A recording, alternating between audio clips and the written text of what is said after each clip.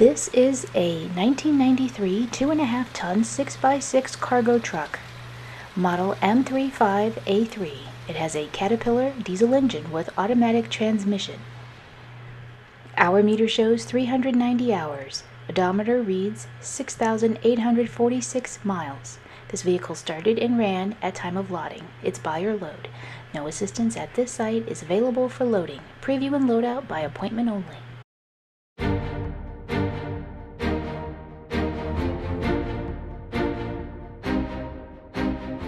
Liquidity Services provides buyers and sellers with the world's most transparent and innovative online marketplaces for surplus assets.